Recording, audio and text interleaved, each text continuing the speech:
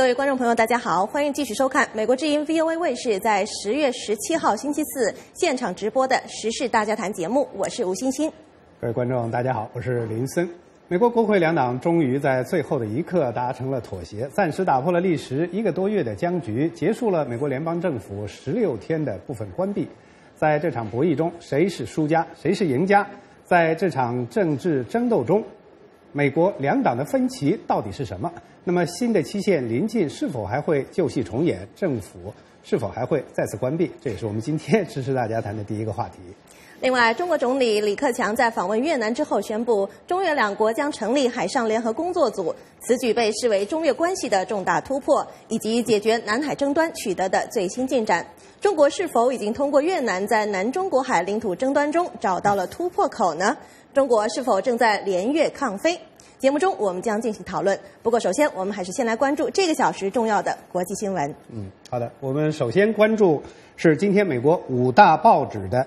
头条新闻，我们首先来看《纽约时报》。美国政府恢复运转，政府的债务上限得以提升。在两党对峙十六天以后，共和党人退让，美国联邦政府的雇员今天重返工作岗位。在《华盛顿邮报》方面，美国总统奥巴马签署法案，提升政府举债上限，并重开政府。国会众议院保守派吃了败仗。再来看今日美国报，国会与总统达成协议，奥巴马签署预算法案，结束了十六天的政府关闭。华尔街日报的头条是奥巴马签署法案，美国回避债务违规。国会部分共和党议员开始为下一次的预算斗争做准备。另外，联邦雇员重回岗位。嗯，最后是洛杉矶时报，美国政府的危机得以暂时的规避。预算案将结束政府关门和提高债务上限。洛杉矶市考虑翻新潜在的地震危房。啊，以上就是今天美国五大报纸的头条新闻。接下来我们来看其他方面的重要的消息。好的，来关注一下美国方面的消息。美国总统奥巴马星期四凌晨签署了国会参众两院在最后一刻通过的有关结束政府关闭以及提高举债上限以避免债务违约的妥协性法案。星期三晚间，众议院以两百八十五票对一百四十四票通过了这项议案。此前，该议案在参议院以八十一票对十八票获得通过。奥巴马感谢国会两党领导人，并表示现在是赢回美国人民信任的时候了。参议院多数党民主党领袖李德和共和党领袖麦康奈尔在星期三，也就是美国触及债务上限的前一天，拟定了这项综合议案。这项议案得到了奥巴马总统签署之后，美国政府就可以运转到明年的一月十五号，债务上限推迟到明年的二月七号。在此期间，国会议员可以就削减政府开支进行谈判。白宫预算办公室说，联邦政府雇员将于星期四的上午恢复正常的工作。接下来我们来看，伊朗与世界六个强国将在三个星期内再次举行会谈，继续就国际社会关注的。伊朗核项目问题进行实质性的谈判。与此同时，有关专家将致力于解决各方的分歧。围绕伊朗核项目的僵持局面已经持续了十多年。美国、俄罗斯、中国、法国、英国和德国要求德黑兰证明伊朗没有研制核武器，同时德黑兰则争取国际社会减轻制裁。国际社会对伊朗实行制裁，迫使其停止浓缩铀的活动。伊朗外交部长扎里夫星期三说，在日内瓦进行了两天的谈判以后，他希望谈判将标志着在一场不必要的危机中进入一个新的阶段的开端。白宫发言人卡尼说，日内瓦谈判显示了我们以往没有看到的某种程度的严重性和实质性。他告诫说，不要期待这场核谈判迅速取得进展。他还说。德黑兰与西方国家之间长期以来存在非常深刻的不信任。接下来，我们把目光转向日本。日本首相安倍晋三为靖国神社送上礼仪性的祭品，但是安倍晋三星期四没有亲自前往参拜靖国神社。很多人将靖国神社视为日本帝国主义历史的象征。每当日本领导人参拜靖国神社，作为日本侵略战争的受害者，中国和韩国都会提出抗议。靖国神社供奉着将近两百五十万日本战争死难者的灵位，其中包括十四名二战罪犯。自安倍晋三去年十二月就任日本首相以来，这是他第三次为靖国神社送上祭品。嗯，再来关注一条关于英国和中国的消息。英国说，为了加速提高英国的发电能力，他们将允许中国公司持有英国核能源项目的主要股份。英国财政大臣乔治·奥斯本星期四访问中国期间宣布了这个决定。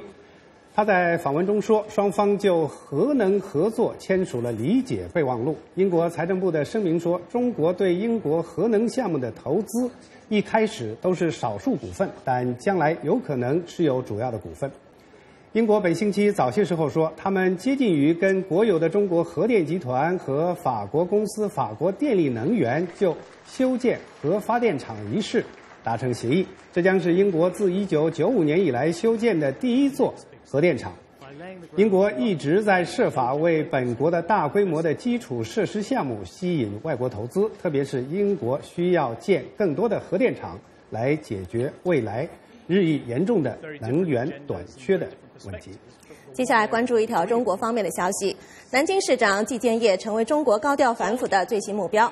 中国当局星期四发表声明说，季建业由于严重违规行为而接受调查。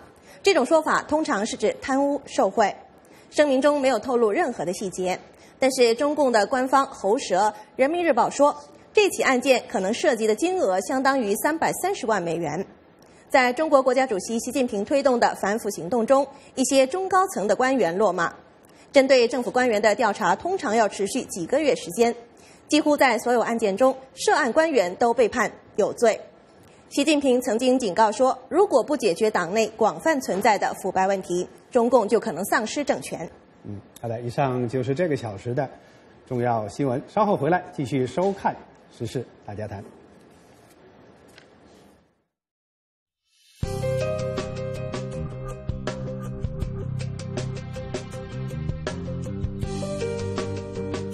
Two minutes here.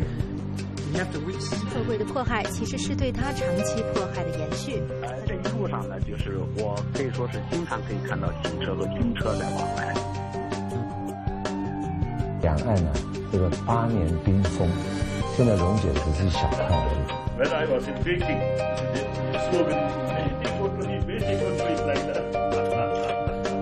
we've been very impressed with what they've been able to do. There's nothing you can do. 但是，只要女性参加直接战斗的事实得不到法律的承认，至少能让我们去香港这样的地方。The waters that are legitimately theirs.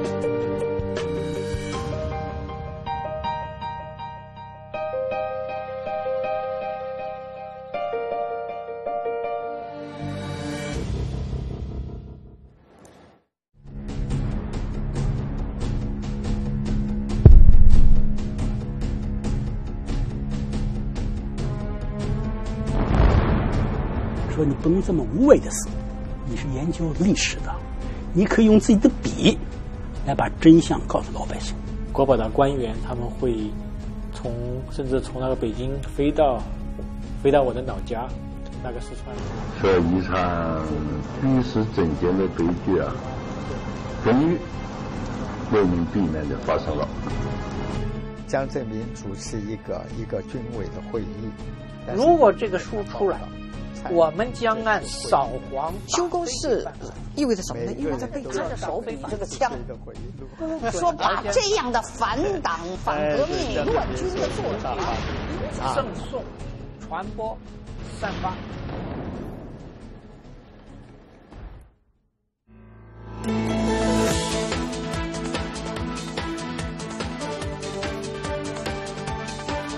好，欢迎继续收看美国之音 VOA 卫视。现在是时事大家谈的时间。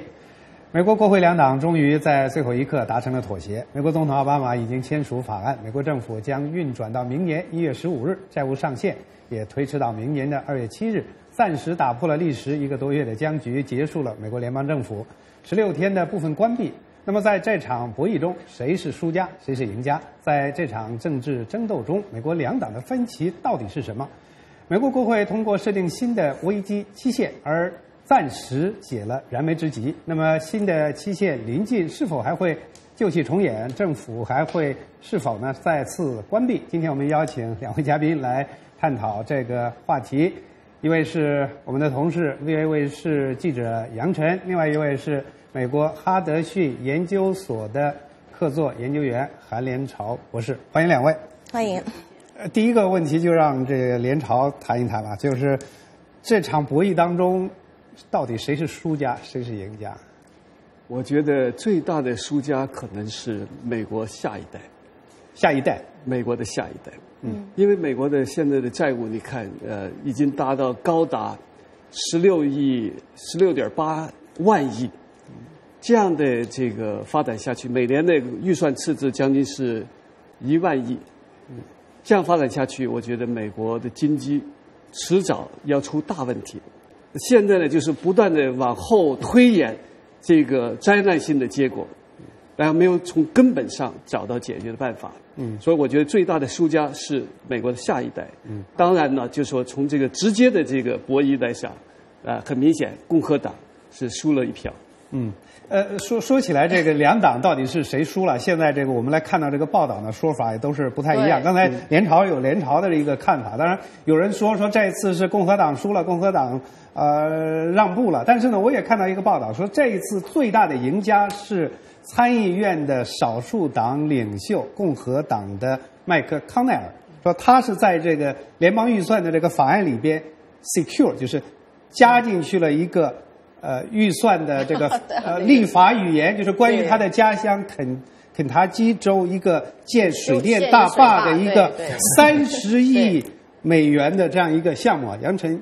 我觉得这个说法说麦康奈尔是最大的赢家，因为这一条，我觉得这个报刊可能这个媒媒体有一些嘲弄的那种口气。不过我觉得刚才呃，就是韩博士分析的这个，比所有的这些美国主流媒体分析都好。如果你今天打开报纸，你去看他的头条新闻，一定是说奥巴马大获全胜，共和党没有得到任何东西，空手而归。所以其实呢，如果我们我们来看，当然这个呃。众议院议长贝纳是这次这个两党呃预算之争的一个焦点人物，呃，他这次呢就说很多人说他是彻底的输了，什么什么都就是共和党最后什么都没得到，但是我我在想就是说在昨昨天最后的一刻，如果按照这个议会的程序、国会的程序的话，他可以不把那个法案拿到这个全体院会去讨论啊。是，而且他是违背了这个，就是呃，国会众议院有一个不成文的一个规定，对吧？可能这个韩博士知道，叫呃哈斯塔塔的规则，就是说你这个众议院议长拿到全体院会讨论的这个议案呢，必须是得到多数党的多数人同意。对，所以他昨天的这个举动，实际上是你可以说他是为了国家的利益。是。就是因为对他自己到底有什么后果，我们现在不知道。也许加强了他这个呃他的权利，或许是削弱了他的权利，谁都不知道。所以，他完全可以按照程序，他说我就不不把这个法案拿到这个 floor 上去讨论你，因为他是有这个权利这样做的。嗯，所以他最后是实际上我们来看众议院有一百四十四个议员反对，这是很大一个数目，就百分之六十多的他自己本党的这个议员投了反对票。那杨晨，您觉得这两党还有包括这个茶党，他们到底是在争什么呢？对我，我 其实我我觉得这两个星期以来，我们一直在讨论这个。大家都说，哎，不是那几天讲的是奥巴马医保吗？是因为这个争起来的。后来说怎么就不知道在争什么了？实际上，奥巴马医保其实跟韩博士刚才讲的这一样，也是一个就涉及到国家这个开支的问题。因为这个奥巴马医保推出去以后，共和党人为什么反对他呢？他说可能会导致国家破产。嗯，这是这是他们一个攻击这个奥巴马医保的一个理由。另一个就是说他是侵犯了美国人的这个个人自由。啊，所以这个其实和国家这个开支都是有关系的。我我昨天准备了一个小短片，就是在呃众议院参议院还没有在呃投票之前，但是那个时候我们大概已经知道这个法案一定能过了。就是我们稍微来看一看，我不知道是不是能解释得清楚，对。从患者保护与评价医保法，也就是俗称的奥巴马医保改革一成为法律，共和党人就誓言要推翻它。九月三十号，美国政府财政年度结束之前。共和党内的查党势力就在酝酿，在讨论预算案的同时，拿奥巴马医保作为谈判筹码。九月二十号，共和党控制的众议院通过了政府临时预算案，同时停止对奥巴马医保改革的拨款。众议院议长贝纳当时在共和党人的环绕下宣布，这是美国人民的胜利。但是这也开启了后来长达几个星期的国会预算之争。民主党人坚持要通过一个不带附加条件的预算版本。共和党从最初要求停止对奥巴马医保拨款，退让到了要求推迟向医疗器械征税和禁止对民选官员提供购买医疗保险的联邦政府补贴。但是民主党仍然坚持在奥巴马医保问题上拒绝谈判。十月一号，美国联邦政府部分关闭，到十月十七号，美国国债上限到期之前，众议院共和党仍然试图做最后的努力，提出带有大幅度修改奥巴马医保条款的议案，但是由于党内派系分裂而放弃。最后的版本可能既不是奥巴马政府要求的不带任何附加条件的清洁版本。也远远不能满足共和党推翻奥巴马医保的要求。在为联邦政府预算拨款的期限上，共和党人原来提出为联邦政府提供六个月的拨款，也就是持续到明年四月，但民主党坚持到明年一月中旬。这是什么原因呢？请继续收看 VOA 卫视《时事大家谈》节目。对这个呃。关于奥巴马医保这一部分啊，就是昨天通过的这个法案呢，其实就保留了一点点，就是说呃，在这个个人在申请医疗保险的时候，要申请联邦补贴，要非常严格的审查你的收入水平，以防这种欺诈的行为。所以有的人就说，这可能也是给共和党留了一点点面子。但是其实这个条款也不不是那么简单。据说当时在讨论这个奥巴马医保的时候，就是奥巴马总统就说不愿意把这个加进去，啊，所以。有这个条款总比没有好，对，呃，至于说是不是说是给共产共和党留了一些颜面，共和党是不是这次呃彻底的输了呢？也许要要到选举的时候，是不是才能看到分晓？我我连朝怎么样？对我我觉得是这样，因为呃，这个东西我觉得并不是共和党要采取这样的一个呃举动，实际上是查党共和党里头应该说查党在某种程度上劫持了。共和党迫使共和党呢，就这个医保问题，就奥巴马医保问题进行一个决战。这个决战呢，也是查党在一个绝望的过程中间想到没有招的一招，就是说每次的这个债务上限呃审核的时候，总是要各个党派都会利用这个东西来做文章，来推动自己的这个呃议议议题。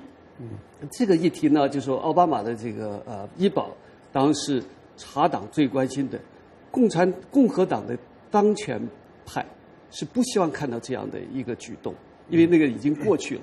嗯，那呃，像少数党领袖、参议院少数党领袖自己马上面临选举，面临选举，他已经受到很大的威胁，所以不愿意每次这个呃九五年、九六年那次呃政府关闭。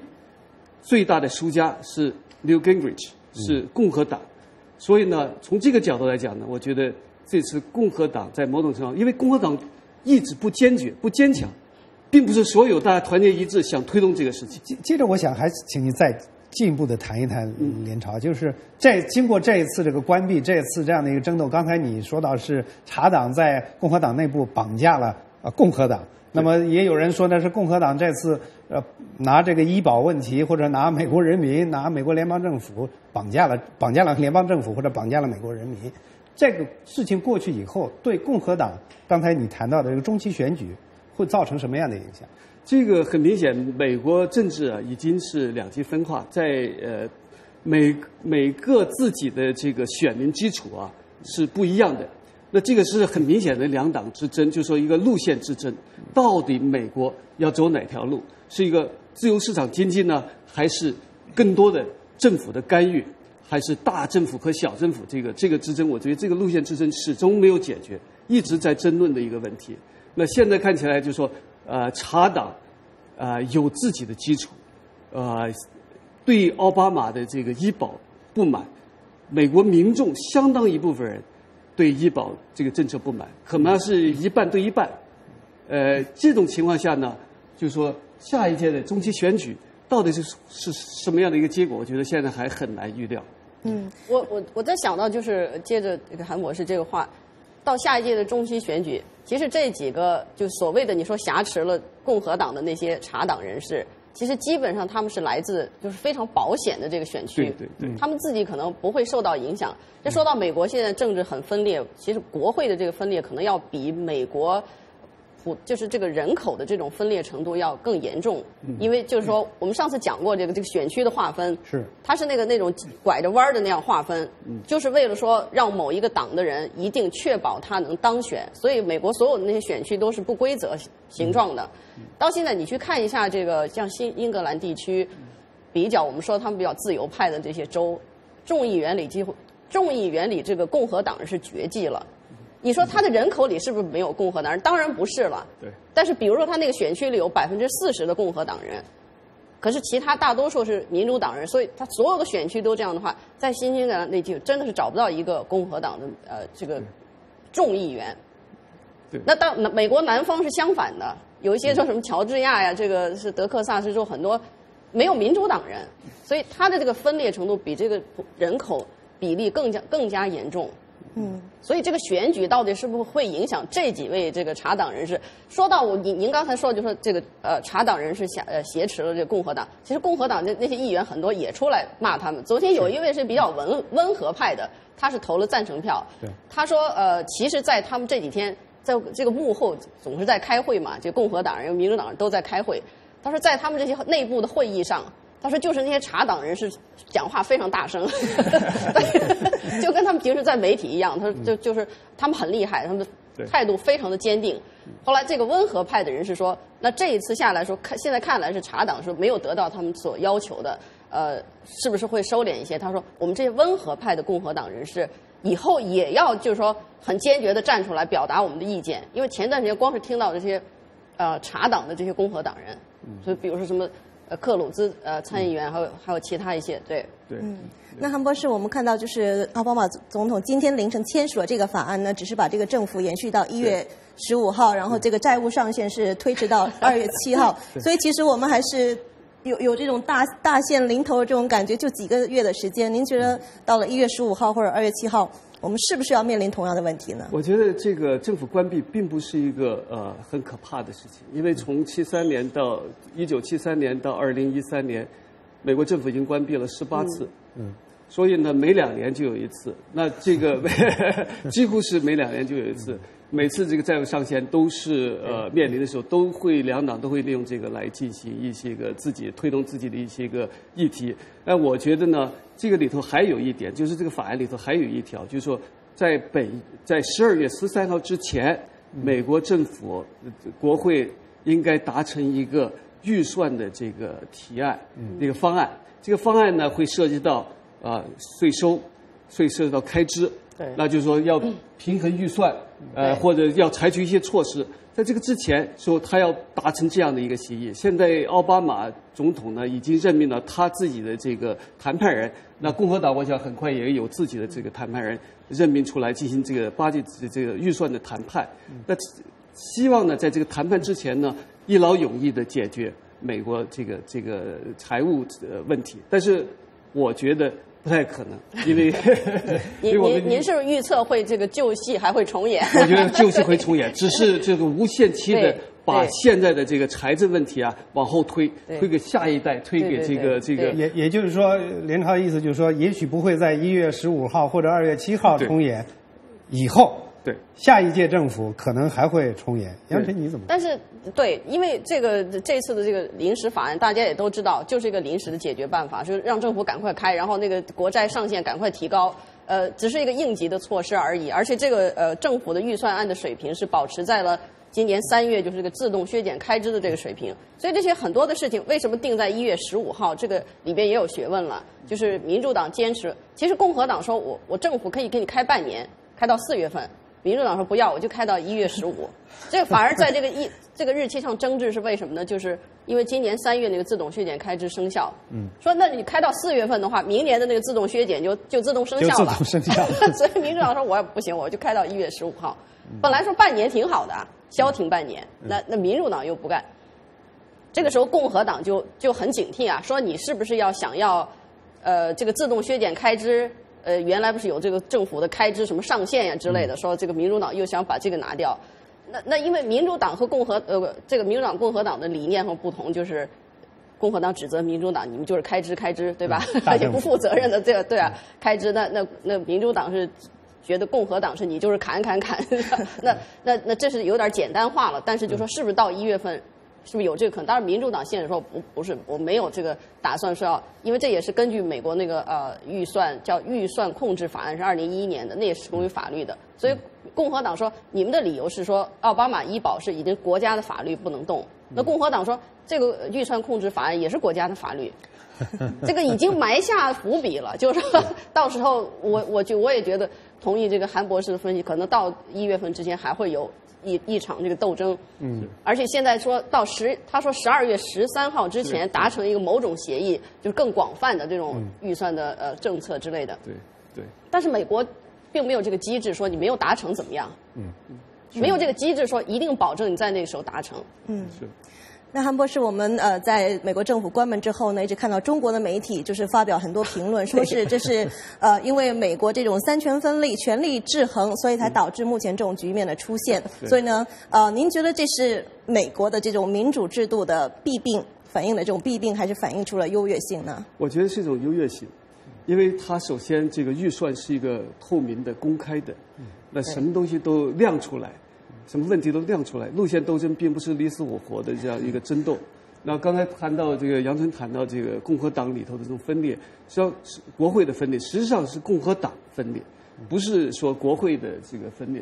共和党内部查党认为民主党和共和党的这个当权派权势集团都不能真正代表美国人民解决这个财政上的这个重大问题，那么今后会把美国引向灾难。他们呢虽然是少数。但是他们愿意发声，不惜站出来，要把美国这个朝这个关闭的边缘，向违约的边缘向向它推进。所以他们想利用这个杠杆呢，来促使一个政策的变化。当然，现在我觉得是为时太晚。但另外一方面呢，就是说这个势力在逐渐的增长，因为两党，共和党党，你说他们以前是批评说老是要砍一砍，实际上不是这样的。在布什在台上的时候。每年的国会的就是这个政府的预算开支是百分之十二的往上增长，并没有减削减任何开支。在这种情况下，那查党突然兴起来，我觉得这是有背后有这样的一个机制在里头。这种机制的好处，我觉得就是把它把这个整个的决策公开化。另外一个方面，我在关闭十七天、十六天之后，我们看到没有美国政府。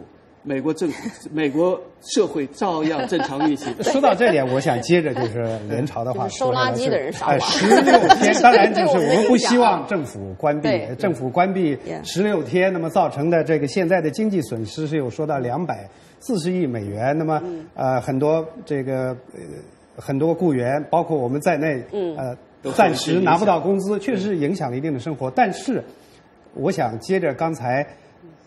联朝的这话，就是说它体现的是美国这个制度的优越性。我觉得从我个人看来，觉得它是真正的再一次的体现了美国的建国先父之初，他们要把这个联邦政府把它建造成一个最弱势的政府，实际上把这个关乎着整个的国计民生的这些权利都留给了州政府和地方政府。所以说，联邦政府关闭了十六天，美国。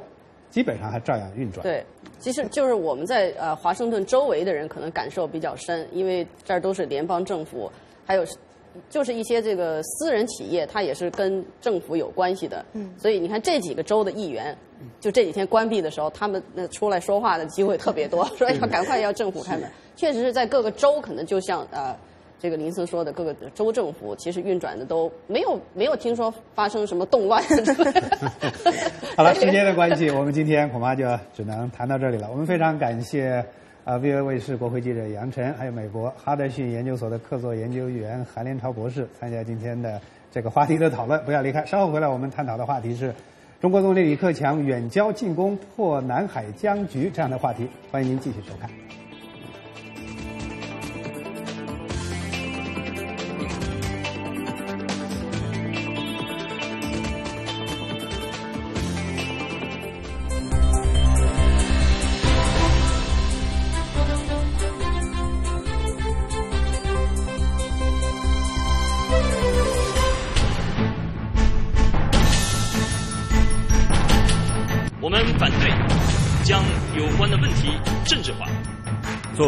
太平洋沿岸国家，美国和亚太地区有着很长的历史渊源。这个火腿之都出产的火腿为什么这么特别？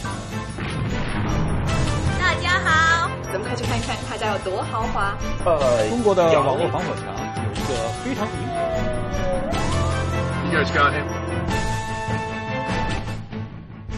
欢迎收看《走进美国》。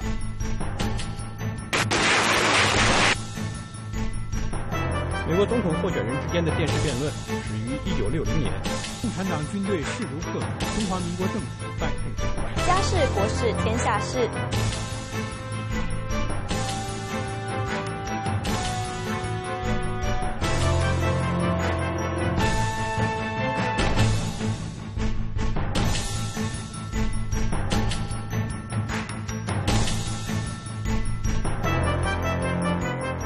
亚太五号卫星卫星转发器 KU 频段，东经一百三十八度，下行频率一二四三九点五兆赫，符号率每秒两千五百千伏，前向纠错四分之三，极化方式垂直极化，PID 分组识别码一零一零视频，一零一一音频。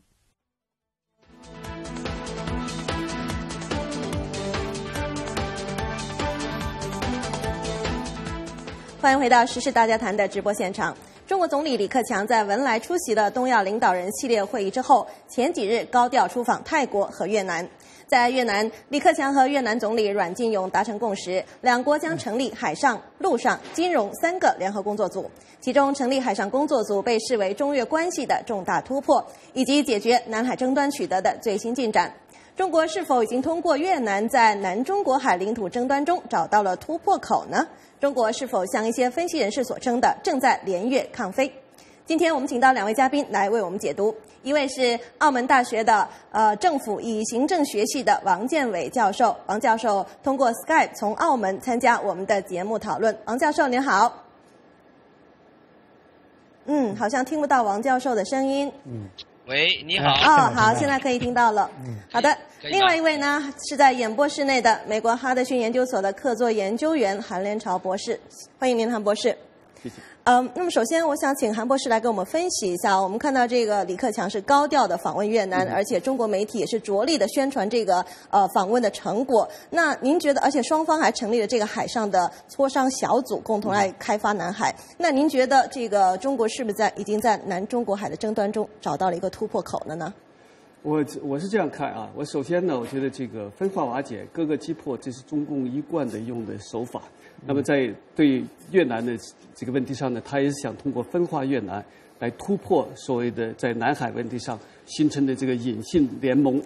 呃，另外一方面呢，我觉得这个从李克强访问来看呢，我觉得呃并不是一个实质性的突破，因为他的访问实际上是对呃六月份越南。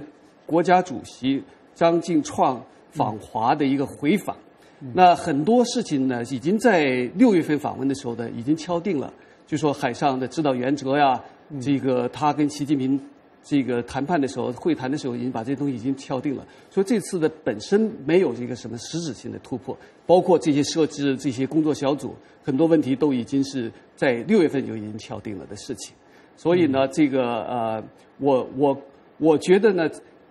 要是说有突破呢，我就是在六月份已经开始，就说他表两党都表两党和两国都表示要在政治上找到办法解决两国之间的领在领土上的这个争执，这个是一个一个很明显的他们要采取的一个措施。另外呢，设置一个热线电话，出现问题能够马上沟通。北部湾的这个开发共同开发，这个也是一个一个东西。但是呢，在实质上你看。对西沙和南沙的这个争执，并没有共同开发的这个这样的一个一个呃共识。只是在北部湾港。只在北部湾。那你要看呃越南自己的媒体的报道，很明显在用词上都不一样。他一直强调是东海，中国是强调南海，所以你看那分歧是很明显的。嗯，王教授，您认同韩博士的看法吗？呃，我想那个从中越两国解决南海争端的这个，呃，这个过去几年发生的这个冲突情况来看的话，当然这次双方都呃决定这个成立一个海上工作小组，那么能够坐下来啊，这个呃来这个探讨去解决分歧的方法。从这一点来讲的话，我觉得是一个呃呃这个有益的一个进展。当然，这个成立工作小组本身并不能说是一个突破，因为这个双方还要坐下来这个谈这个共同开发的问题啊。那么这个里面就有利益的一个呃分配啊。那么这个具体要能不能这个取得突破啊？那我想呢，这个还要双方的这个可能是旷日持久的这个谈判。所以呢，我想呢，呃，这一次的访问可能是找到了一个寻求突破的一个方法。那本身呢，还不能说是一个突破。嗯，接下来我还是请呃建建伟教授接着谈一谈啊，就是刚才你也谈到，就是说是找到这样的一个方法，呃，不能叫做一个突破。那么，嗯，中国为什么选择就是和越南来进行这样的好像来合作，要联手？那像外界评论那样，要来对付菲律宾，为什么这样做？当然，这个我想呢，呃，刚才这个韩博士也提到说，这个中国采取分而治之的这个策略。那么，我想呢，这个呃，因为这南这个东呃这个东盟有好些国家跟中国有这个呃南海的争端，那么当然不能说就一起来这解决问题，因为中国又反对所谓的这个呃多边的来解决争端的这个方法。那么，中国一直坚持这个双边的解决办法。那么，在这种情况下呢，当然。就要想办法，就是说，呃，能够和其中的某某些国家，那么能够取得进展的，那么这样的话呢，有一个示范的效应。那么从呃中国和越南来讲，当然，呃，中国选择越南作为突破口呢，那有很多这个原因的。第一个就是中国和越南都是这个呃社会主义的国家啊，那么他们在政治制度理念方面呢，应该说还是有比较多的相同的地方啊。那么第二个呢，这个如果说这个南海争端的话呢，那么呃中国和这个越南这个争端的这个范围啊是最大，那么跟菲律宾相比，跟那个马来西亚相比，跟其他国家相比是范围最大，那么烈度也也也最大。那么如果说呃，那么越南呃占占据了这个中国现在是呃认为的这个二十九个岛屿，那么呃中国也占据了这个越南认为是他们的这个西沙啊，那么东沙。那么在这种情况下，如果说呃这个两个争端最厉害的国家能够达成一定的妥协的话呢，当然对这个菲律宾也好，其他国家也好的话，那么应该有一个示范的一个效应啊。另外一方面呢，我想呢，跟菲律宾相比的话呢，那么呃这个中国和越南还有一个比较有利的地方，那么菲律宾已经和美国形成一个军事上的一个同盟关系。那么越南虽然这几年跟美国在改善关系呢，毕竟。呃，越南还不是啊美国的盟国啊，这我想这一点呢也是要考虑在内。另外一方面呢，越南这个跟中国靠得这么近啊，那么现在这个中国是越南这个呃最大的贸易伙伴，那么那么从经济利益这个角度来讲的话呢，那我想这个啊啊中国和越南的经济利益现在显然要超过越南和美国的经济利益，那么这一点我想对越南方面也会要加以考虑。嗯，所以综综上所述呢，我想中国选择这个越南作为突破口呢是有它的道理。嗯，好，接下来我想这个问这连朝博士一个呃似乎有点题外的话，因为刚才你谈到就是说中国的这种做法是中国的这个外交上的这样的一贯的这样的一种做法，不仅是我联想到就刚刚才我们有一个这个节目这样的中间的这样一个短片里头还提到有一个片段，就是中国外交部的发言人最常用的话就是我们反对，再就是伤害了中国人民的感情。我想让你题外稍微说一下。最近这一些时期啊，比如说十年来，中国的外交手法是否有所改善？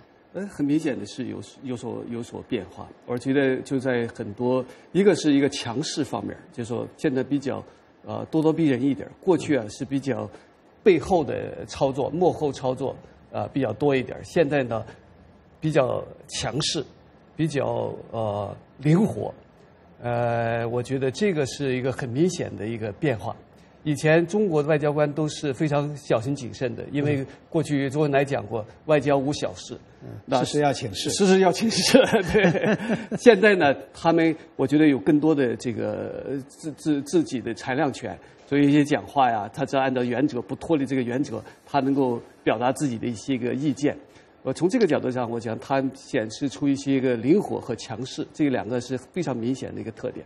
嗯，韩博士，我们看到这个习近平在出席 APEC 的时候，还有包括呃李克强去参加这个东亚峰会峰会的时候呢，并没有去菲律宾进行访问，绕开了菲律宾。而且呢，中国这么高调的宣传就是访越的这个成果，您觉得有没有对像外界所称的对菲律宾造成震慑的作用呢？那肯定是的，这个很明显就是它分化嘛，各个这个分化瓦解，各个击破，击破当然就是菲律宾，因为刚才王教授也讲得很清楚，就是菲律宾已经跟美国和日本形成了一个同盟，那中国的想分化，呃，这个越南，起到打击，起到这个这个打击东盟的分化东盟的这个作用，因为东盟很多国家是跟直接就是作为一个整体是跟在南海问题上是站在他们这些个成员国这个立场上的，呃，通过打击东盟呢，进一步打击日美的这个呃联盟。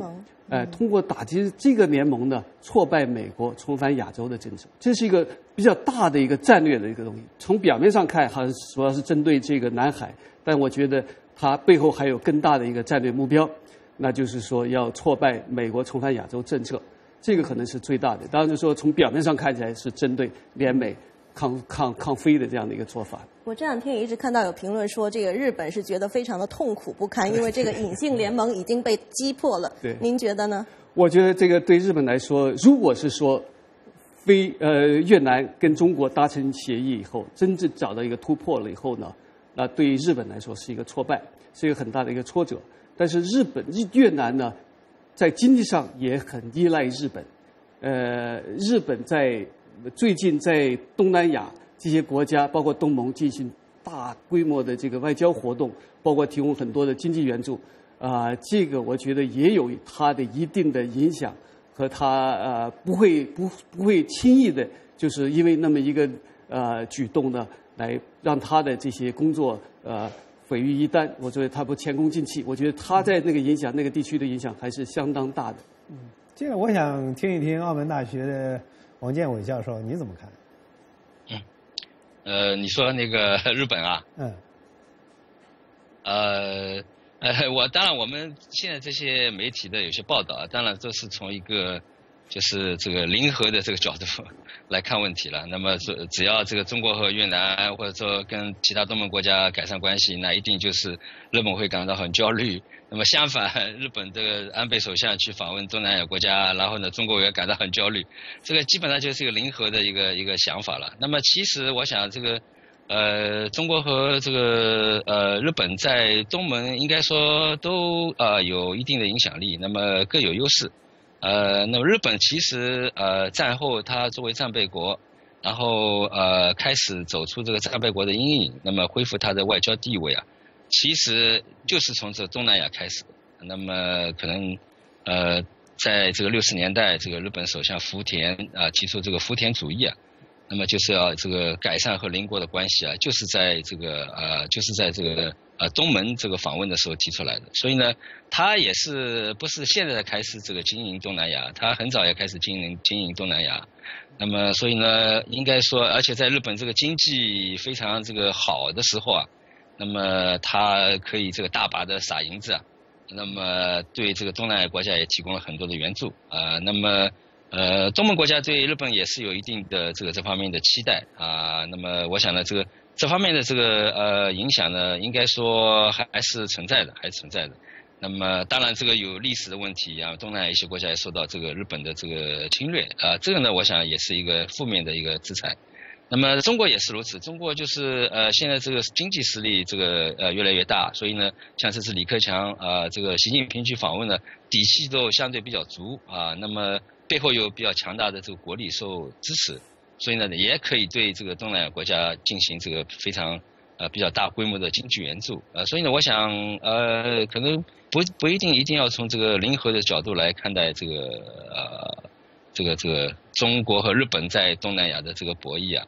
那么应该说，东南亚之大，也可能也可以容同时容下这个中国和日本两个国家在那边呃发挥影响，呃对这个这些国家的经济发展啊，那么这个做出这个积极的贡献，我想这个也是可能的。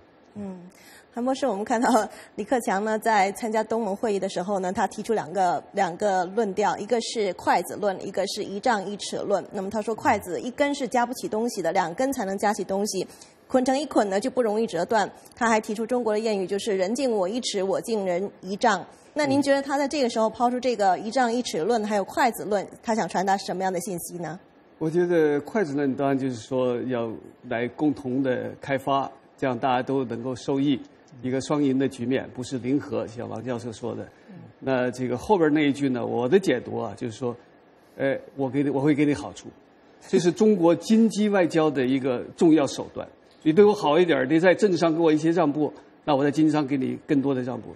但是中国这个经济外交的这个，我觉得有很不好的后果。我们知道，过去对我们对这个中国对越南和朝鲜，包括阿尔巴尼亚，就勒紧裤腰带对他们进行援助。最后的结果呢？中国在七次就建国之后，中共建政七呃以后的七次战争中，三次是跟越南打的。越南对中国是非常的不信任，我觉得在骨子里头还是不信。而且越南不会是随着共产党、中共的这个指挥棒来转，他有很强的自己的这个主张。那过去看历史上是这样，要哪个有哪边有大树，在哪边乘凉。所以呢，不是说就说这个就能够实现一个突破，尤尤其是在南海上、南海问题上，直接涉及到很多的利益。尤其是发现石油这个资源以后，那越南已经在划分出来，在有争议的地区啊，已经划分出来一百八十五块块区这个区块的这个油田，已经五十多个国家外国公司来进入来共同开发了。在这种情况下。我觉得这个这个前景啊就很难讲，到底会生成什么样一个局面？那您刚才说他是因为就说觉得说我可能给你一点好处，但是如果说他人不敬我一尺呢，那是什么样我就要大大棍子就要就要 伺候了。所以就是有这个，当然有威慑的这个意思在里头嘛，就是这是针对菲律宾来讲。嗯，接接下来我倒是还是想提这样的一个话题啊，就是。呃，请王建伟教授谈一谈吧。我我前前几个星期我们谈过这个话题，就是呃，美国政府啊关闭啊呃财政上限。那么由于奥巴马总统要呃优先处理国内事务，所以就取消了到这个亚洲的一系列的访问。所以就有很多人评论说，这次美国因为奥巴马啊关注国内事务，这样呢就给中国。啊，在这个亚亚太地区啊，就是给了很大的这样的一个空间。那么现在这个美国政府这个关闭啊，今天呃已经结束了，今天重开政府了。这您您您觉得这个事儿对 对这个中国的影响力有所帮助吗？对美国的在亚太地区的影响力有所削弱吗？我想这个呃呃，上次我也讲了，从短期来讲，当然因为奥巴马缺席嘛，那么东亚峰会，然后这个 APEC 都缺席的话，当然对美国的外交，对美国树立在这个地区的这个威信和那个 credibility，我想应该是应该说没有益益处。那么比如说你这个呃这个印度尼西亚和那个呃马来西亚都为奥巴马的这个访问准备了很长的时间，那么突然说不来就不来了，那当然他们会感到很失望。啊，那么，那么美国不在，奥巴马不在，然后他派了一个国务卿克里去，那么当然这个分量就比较差一点了。那么这样的话，为习近平和这个李克强大显身手，当然也提供了一个舞台啊。那么客观上我想是这样。那么当然从长远来看的话呢，也也不应该把这个奥巴马缺席啊这个影响说的太大。那么政府开开门以后呢，我想。我的我的估计就奥巴马会呃呃重新安排啊，那么去马来西亚或者是印度尼西亚的尼西亚的访问，那么而且这个明年还有机会，比明年比如说他去这个中国这个上海参加那个 APEC 的途中，他可以就可以去啊一些东南亚国家啊，那么呃访问呃这个还一些欠下的债，所以呢这个还是可以弥补的，还是可以弥补的，但是呢。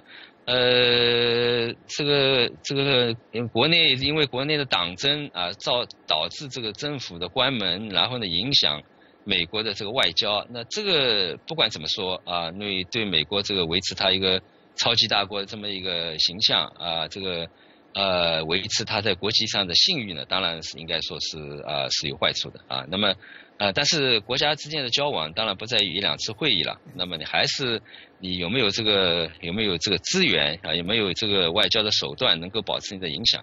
那么所以呢，我想这个呃这个危机过了以后呢。呃，我想美国还是可以采取措施啊，来来挽回啊这个所受的一些损失。嗯，一分钟的时间让一分半，一分半让连朝谈谈对这个刚才王教授这个看法，你怎么看？我觉得这个美国在呃东南亚，在亚洲经营已经不是一天两天了，多少年已经有很呃这个发展这种关系，所以呢，这个奥巴马不出席呃这个会议呢。可能会首先有些影响，有些失望，但是我觉得不会动摇这个啊美国与亚洲国家啊这种根基，这种关系的根基。为什么这样讲？啊？为什么这样？因为已经经营了几十年，是吧？呃，这个不是说一天两天形成的。美国这个政府的这个首脑经常变化，但是这个两国家的关系不会发生什么太大的变化的。嗯。呃，这个政策是连续性是很强的。那另外一方面呢，我觉得这个呃美国你要看美国的政客。大部分的时间是放在国内政治的，对外交，并不是他们的一个一个首要的要务，呃，他的集中精力是关注国内，因为一个民主机制吧，你首先要考虑的是要继续当选，对不对？要连任，呃，这个是他国内政策来对他们来说更重要一些。当然，就是说外交上面，但不是说是忽略。呃，我总的看法就是说。不会对这个美国外交就是在你看来，实际上派国务卿克里去代替总统，对，去参加这个会议，实际上分量也还是够的。我觉得是可以，但是就我想，他以后一定会有所弥补，像王教授这样说的，就他会有所弥补。对，嗯，好好好，时间关系，那我们今天关于南中国海的话题就只能讨论到这里了。感谢澳门大学政府与行政学系的王建伟教授和美国哈德逊研究所客座研究员韩连朝博士参加今天的节目讨论。请您不要离开，稍后呢，我们还有走进美国栏目，请您锁定收看。休息一下，我马上回来。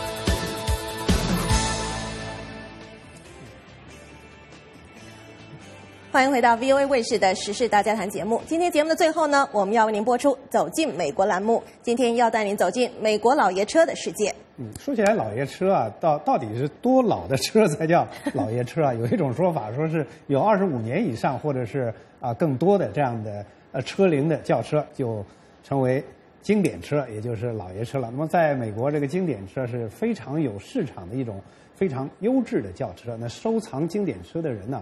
是非常非常的多。接下来我们就来看报道。欢迎收看《走进美国》，我是杨林。美国呢，曾经被人们誉为是轮子上的国家，这是因为美国制造了世界上第一条的汽车生产线，大量制造汽车而得名。美国人对汽车的热情不仅表现在家家户户都有汽车，而且还表现在他们对老爷车和经典车的收藏与改装上面。那今天走进美国节目，就带您来到一个露天的经典汽车展，带您来领略古典车与马力的结合会迸发什么样的魅力。我们赶快走吧。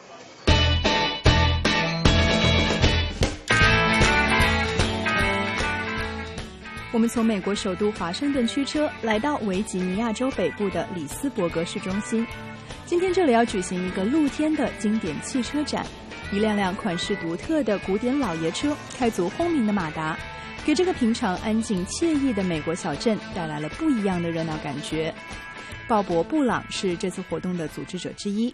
Uh, we do this car show every year, uh, the first first Saturday in June every year. This is the 27th year. 每年六月的第一个星期六，我们都会举办这个经典老爷车展。这已经是第二十七个年头了。这个慈善车展能把爱车人士都聚到一起，相互交流。鲍勃不仅是车展的组织者，他自己本人也是一个地地道道的老爷车迷。鲍勃告诉我们，他拥有三辆老爷车，今天他就开了一辆自己的爱车来参加车展。This is a 1957 Chevrolet Bel Air convertible. 这是一辆1957年产的雪佛兰贝利敞篷车，也是我一直想要的车。我16岁的时候，这是一辆刚刚出厂的新车。当然，那个时候我买不起它。现在呢，我得付好几倍的价钱。哎，正说着，一辆辆汽车发动了马达，车展马上就要开始了。